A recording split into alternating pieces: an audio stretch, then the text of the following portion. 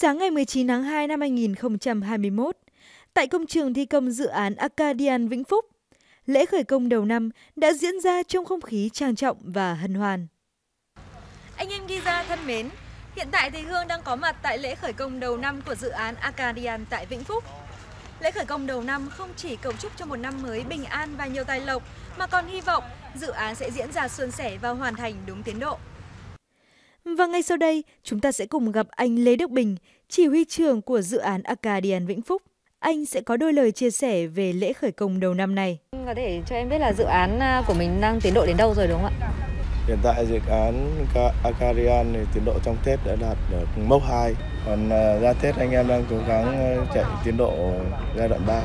Lễ khởi công đầu năm này có ý nghĩa như thế nào với dự án của mình ạ? Cái tháng 2 này là cái tháng đặc biệt của rất nhiều năm là tháng à, Nguyệt Bảo Khố 823 năm thì mới xuất hiện một lần.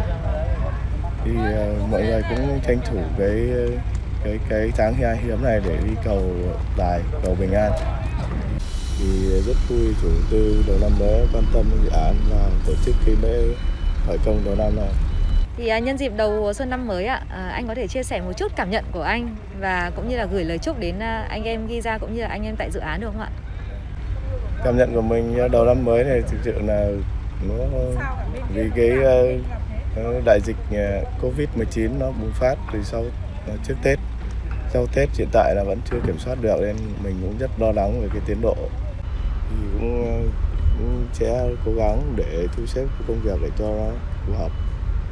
Còn sang năm mới thì anh cũng xin chúc lãnh đạo công ty và toàn thể anh em công ty ghi ra là một năm mới sức khỏe, bình an và chúc cho công ty ra năm nay đã hoàn thành được cái uh, kế hoạch của năm và thành công trên uh, thương trường. Xin được chúc cho dự án Acadian Vĩnh Phúc tiếp tục được thi công với chất lượng chuyên môn cao và đúng tiến độ. Hãy cùng chờ đón những bản tin giza News tiếp theo trong năm 2021 quý vị nhé. Xin chào và hẹn gặp lại!